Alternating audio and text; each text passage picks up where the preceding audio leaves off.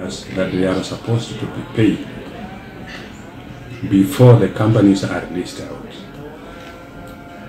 Initially, it was supposed that before December last year, that is when the government had promised that they would have paid their arrears before the leasing process takes effect.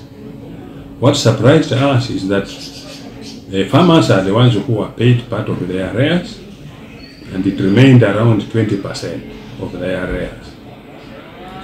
Workers were promised that they should wait for supplementary budget which will address the issue of workers' arrears. We have waited and uh, unfortunately we have managed to access the proposed supplementary budget. And in that supplementary budget, what they have factored in is the balance that is supposed to be paid to the farmers, the 20%, and nothing to the workers.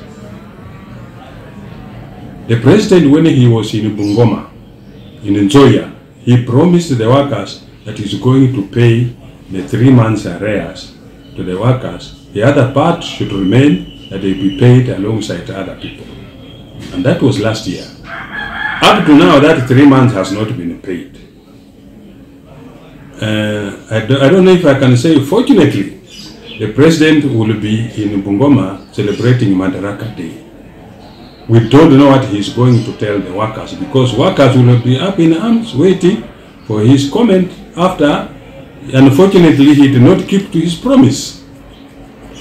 So as workers were planning to demonstrate in, in Bungoma on, on, on, on June 1st when the president will be there.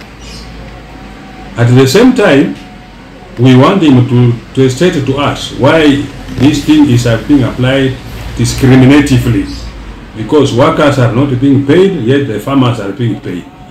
The management that did not pay farmers is the same management that did not pay workers. Therefore, you cannot apply this thing discriminatively. It all amounts to debts owed by the company to either to the farmers or to the workers, to the suppliers and the rest. Leasing will not take effect until the workers are paid. And this is, I can repeat it several times.